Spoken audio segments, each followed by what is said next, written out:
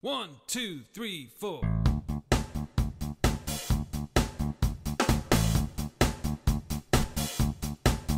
My teacher says it's good for me to ride my bike to school. She says I'll get my exercise and exercising's cool. So yesterday I set off riding on my mountain bike.